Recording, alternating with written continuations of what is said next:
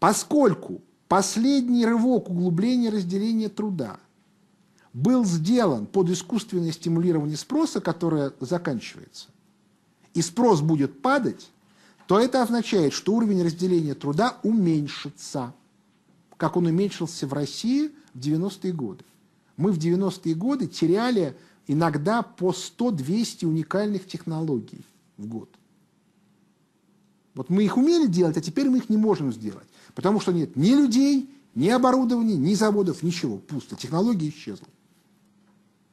Так вот, а, и, и вот это будет во всемирном масштабе по банальной причине, потому что нету спроса. Он будет падать. Он уже падает, хотя его отчаянным образом стимулирует. Значит, в этой э, ситуации нужно искать другие источники.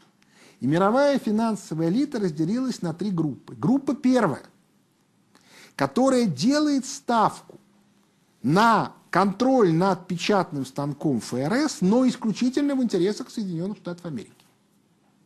То есть, иными словами, это будет отдельный центр, не единая система разделения труда, а будет более узкая система разделения труда, которая будет как бы на, на базе ресурса в виде эмиссии долларов. Есть другая группа, которая любой ценой хочет сохранить за собой все-таки вот эти вот международные финансовые институты и которая пытается извлечь ресурсы из вот тех механизмов, которые у них еще есть. И именно эта группа решила, что поскольку у нее уже нет активов, а это прежде всего финансовые институты, то она должна списать долги. И именно эта группа, которую возглавляет МВФ, устроила ситуацию на Кипре. С банальной логикой. Сейчас мы тренируемся на кошечках в виде Кипра – а потом мы спишем все долги во всех странах. И всем вкладчикам скажем, что, ребята, все, кому я должен, всем прощаю. Кризис. При этом они там нарушили священное право частной собственности, при этом они объявили всем, что банковский депозит больше не является активом, при этом они объявили, что деньги в банках больше держать нельзя на долгие сроки и т.д. и т.п., но у них нет выхода. А третья группа придумала совсем замечательный выход. Она прикинула, если содержать единую систему разделения труда будет уже нерентабельно по причине падения уровня разделения труда, то имеет смысл сделать несколько валютных зон в мире и играть роль посредника между ними, роль всемирного меняла. Эта группа базировавшиеся в Лондоне и которую конспирологи называют Ротшильдами, и которые, так сказать, важную роль в которой играют потомки, соответственно, Мейера, Натана Ротшильда, которых, которую я вам показывал, они перенесли свою операционную базу из Лондона в Гонконг и, соответственно, ставят на возвращение золота на позиции единой меры стоимости. Именно эта группировка заинтересована в том, чтобы развивался таможенный союз и чтобы Россия стала вот таким вот центром силы снова. Всего в мире будет где-то 5-6 валютных зон, пока складывается. Это долларовая зона, это евровая зона, и в Евросоюзе мы явно видим перенос центра тяжести из Брюсселя в Берлин. Это зона Латинской Америки и Южной Африки. Это зона юаня, это Индия как сама себе зона и сама себе рынок. И, наконец, это евразийское пространство, где два ключевых игрока – Россия и Турция. К сожалению, э, всю экономическую политику в нашей стране определяют люди, поставленные МВФом, то есть международными банкирами. Так же, как это было в Соединенных Штатах Америки в 19-м, начале 20 века. Эти люди контролируют и правительство, и Центральный банк, и администрацию президента. Все попытки интеграционных действий, они пытаются пресечь.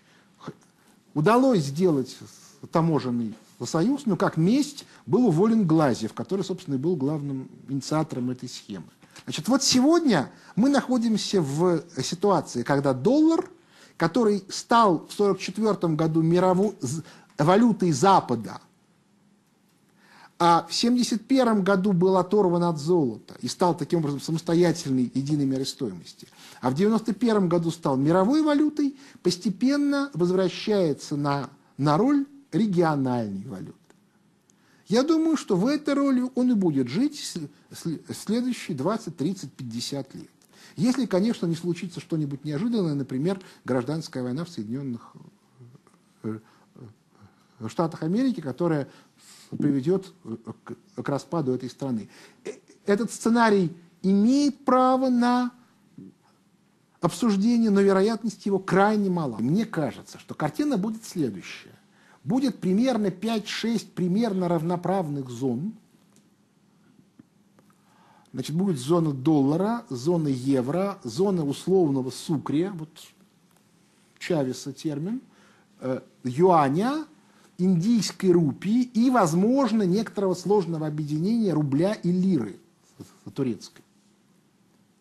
И между ними, вот внутри зон, будет ситуация, как сейчас. Там будут плавающие курсы, там будут какие-то валюты более мелкие и так далее.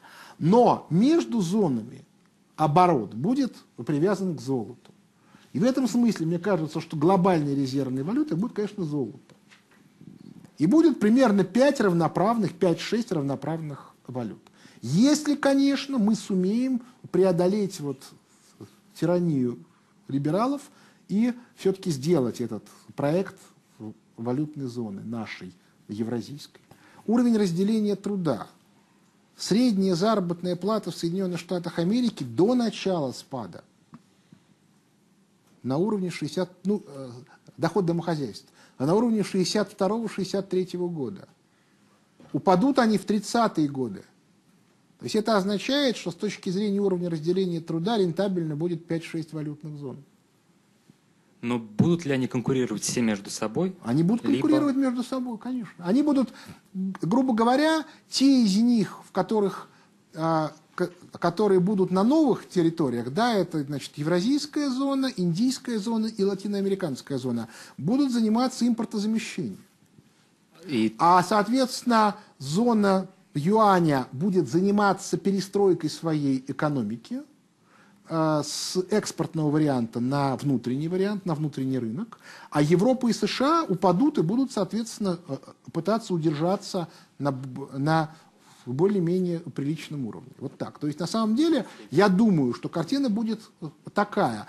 Не в течение трех лет, а в течение десяти лет, вот по итогам десяти лет, Китай останется на нынешнем уровне развития ВВП, может быть, чуть-чуть упадет. Европа и США упадут сильно, но они сейчас и выше всех. А, соответственно, Латинская Америка и, и Россия, вот, вот евразийская зона, будут подтягиваться. Но это как бы версии, да, это, это пока не реализуется. Это вот тот потенциал, который есть. Сегодня мы уже имеем экономический спад в стране. Он, он уже идет 4, четвертый месяц. Точно. Может быть, он и в ноябре начался, но декабрь, январь, февраль, март мы точно в минусе. Пока этот минус ниже 3%, то есть меньше 3%, а статистическими методами можно его э, превращать в плюс. Я думаю, что он, он опустится ниже, чем 3% спада месяц к месяцу, аналогичному, где-то к маю месяцу. То есть вот в мае месяце, по, по сравнению с маем 2012 года, вынужден будет Росстат зафиксировать этот спад, потому что слишком будет большая дырка. Соединенные Штаты Америки сегодня тащат Евросоюз в зону свободной торговли. Почему? Потому что по мере спада спроса обнаруживается, что мощности не загружены. И американцам, конечно, бы хотелось, чтобы были не загружены европейские мощности, а не американские. А поскольку на, налоги в Европе сильно выше, чем в США, то в случае полной свободной конкуренции Европа как производитель э, э, э, загнется. Нам нужны будут некоторые защитные меры, но они будут не запредельны. И министр финансов Канады, государственный министр, да, это, вот, это руководитель аппарата министерства, который не меняется при смене правительства. Значит, он произнес замечательную совершенно речь, я ее сейчас приведу дословно. Сказал так, когда я был маленький, родители часто не покупали мне вещи, которые я хотел, потому что говорили, что мы должны жить посредством. Сейчас, последние несколько десятилетий, народ явно стал покупать сильно больше, чем он может себе позволить. Есть у меня э, основания считать, что, видимо, нам придется вернуться к тем принципам, которые нам завещали наши родители. Точка. Вот в таможенном союзе, в объединении с Турцией имеет смысл. А? Значит, есть... А Израиль тоже войдет в таможенный союз. А куда ему еще деваться? Ему больше некуда деваться. Вот. А, и сейчас повторяю, нужно только понимать, да, что таможенный союз это не то, что сейчас, а как бы совсем другое. Вот. Но как бы теоретически нынешний таможенный союз можно до этого довести. Абсолютно очевидно. Там, э, картина там следующая. В Ливии в лагерях готовят бандитов, пересылают их через турецкую границу э, в Сирию, и там их в течение месяца всех убивают. Ну, они тоже много кого убивают. Через месяц новых.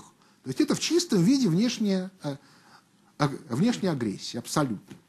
Вот. Что касается Турции, то нужно понимать, что Турция пошла на эту операцию, потому что это было условие американцев по признанию легитимности выборов в, в Турции Эрдогана. Да.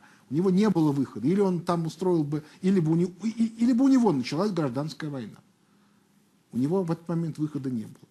То есть, на самом деле все очень сложно. Я не хочу сейчас влезать в геополитику, потому что по поводу каждой из этих историй можно рассказывать часами. И объяснять, где чьи уши торчат, кто куда лезет, и т.д. и т.п. Но вот я могу сказать точно, что мне кажется, что в ближайшее время Турция будет проявлять очень большой интерес к таможенному союзу. Банковская система, да, актив-пассив. Активы никакие, да, там сабпрайм ипотека, деривативы, еще чего-то. А пассивы реальные, нужно людям отдавать деньги, вклады. Но они потренировались на кошечках. Что сделать, если сказать, кому я должен, всем прощаю. У них вышел конфуз. Они не ожидали, что э, парламент Кипра может проголосовать против. Я думаю, что была мысль это произвести быстро-быстро, а потом как несколько месяцев разбираться с исками. И как бы отработать их механизмы. А вместо этого начался шум, и две недели только все СМИ об этом и говорят. А есть внешние силы, которые заинтересованы в том, чтобы у нас была своя валютная зона. При этом будем ли мы при этом строить капитализм или, или коммунизм, им начихать. В высшей степени. А в данном конкретном случае они, скорее всего, поддерживают Глазьева. Я напоминаю, кто назвал первым фамилию Глазьева как кандидата? Кто? Вы, наверное. Рейтерс, правильно. Рейтерс. А Рейтерс это как раз структура Ротшильдовская. Они как бы свое слово сказали. Вот это как бы человек, которого мы поддерживаем. Потому что Глазьев предложил, он а сегодня идеолог вот этой вот интеграционной схемы, которая нужна вот этим силам. Вот и все. Как ничего личного, только бизнес. Вот я эту ситуацию вижу так. Будем ли мы при этом как бы устраивать тут вот, казарменный коммунизм, или как бы социализм с человеческим лицом, или как бы капитализм приличный, с человеческим лицом, или дикий капитализм, как сейчас, им совершенно начать. Главное, чтобы была валютная зона. А я не очень понимаю, что, так, как бы, что такое железный занавес, ну, потому ну, что а, когда у вас есть, вспомните, 19, конец 19 века, три, валют, три валютных зоны. Зона немецкой марки, зона британского фунта и, и, и зона доллара. Между ними не было железного занавеса. Просто это были системы разделения труда независимые, в каждой из которых внутри было обмениваться выгоднее, чем значит, с противоположной. Но привожу пример. Вот есть такая замечательная республика в нашей стране Чувашия. А, и там, значит, э, президент новый или там глава Чувашии придумал, что надо, значит, пойти по опыту товарища Лукашенко и заставлять чиновников продавать высокотехнологичную продукцию Чувашии в разные места. И вот один там чиновник а, ухитрился продать эту самую высокотехнологичную чувашскую продукцию аж в Узбекистан. И все бы было хорошо, но в результате он, он ее продал за сомы. Причем сомы эти там, в Узбекистане. И вот он думает, что делать ему с этими сомами – в узбекском банке. Мы ему говорим, ну как что? Есть у вас текстильный комбинат? Ну купи там хлопок и перерабатывай. Он говорит, у нас был самый крупный в СССР текстильный комбинат, но вот теперь его нету. Вообще нету. Пустое место. Я говорю, ну в чем проблема? Тогда вот у тебя повод, раз у тебя есть суммы, ты можешь купить хлопок, выбей из правительства значит, денег на строительство нового текстильного комбината. Как бы восстановление старого. Но, в общем, это такой вопрос сложный. Это не железный занавес, это именно что технологические зоны. Когда вы встроены в цепочке, и вам из цепочки выходить слишком велики риски. Ну и все. И система защиты, да, конечно, там есть какие-то таможенные барьеры или нетаможенные барьеры. Ну как сейчас Евросоюз защищает свою продукцию?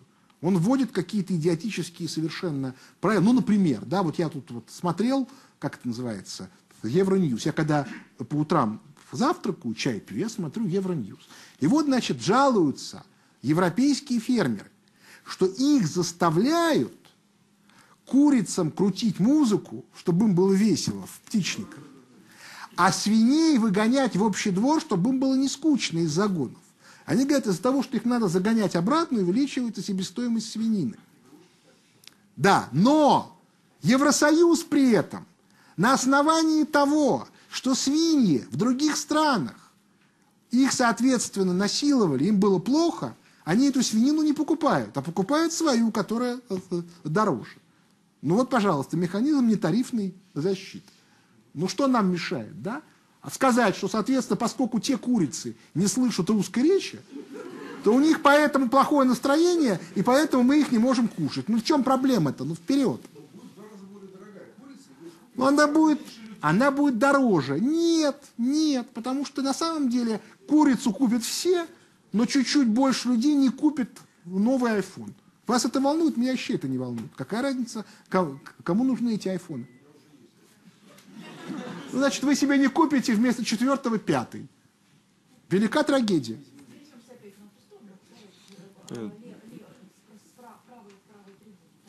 Михаил Леонидович, э, вот эти зоны, допустим, образовались очень быстро, развились и пришли опять к тупику, когда рост стал невозможен. Мы будем ждать войну? Значит, э, да, теоретически, если все будет повторяться как раньше, то за 20-30 лет эти зоны импорта заместятся, оспособятся, максимально исчерпают свой потенциал, и дальше только война.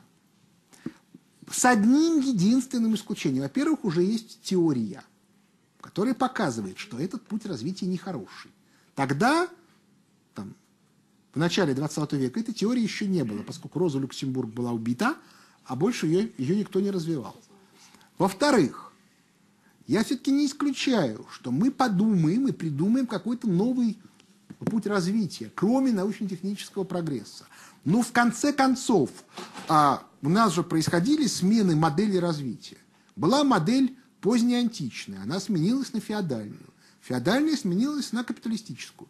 Может быть, ну вот, на модель научно-технического э, прогресса, потому что она была одинаковая и при капитализме, и при социализме. Может быть, будет дальше. У меня, например, есть мнение, что следующая модель это будет модель не научно-технического прогресса, а общественного прогресса. Но это уже мои рассуждения. И тогда, кстати, возникает идея вот красного проекта как, как инструмента стимулирования вот этих вот общественных механизмов. Потому что теоретически я считаю, что в СССР механизмы общественных проектов, вот особенно на ранней стадии, в 30-е и 40-е годы, были куда более развиты, чем на Западе.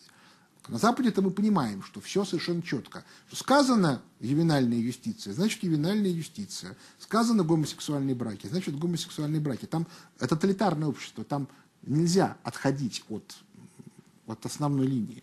И, и как бы любая попытка отойти – это грандиозный скандал. Вон Венгрия внесла в Конституцию умопомрачительный совершенно тезис о том, что брак – это союз между мужчиной и женщиной. Ее там заклевали в Брюсселе. Но Венгрия это понятно, она шантажирует Брюссель, чтобы ей денег дали.